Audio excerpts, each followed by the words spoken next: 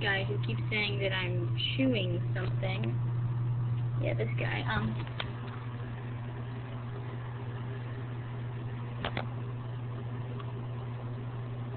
Yes, stupid. I'm obviously not chewing anything. I have no candy on me, and you're making stupid, pointless, com stupid, pointless comments. I can't talk today about nothing, which gives me a reason to make a video, which is pretty good for me. So thanks, Gag Foreigner.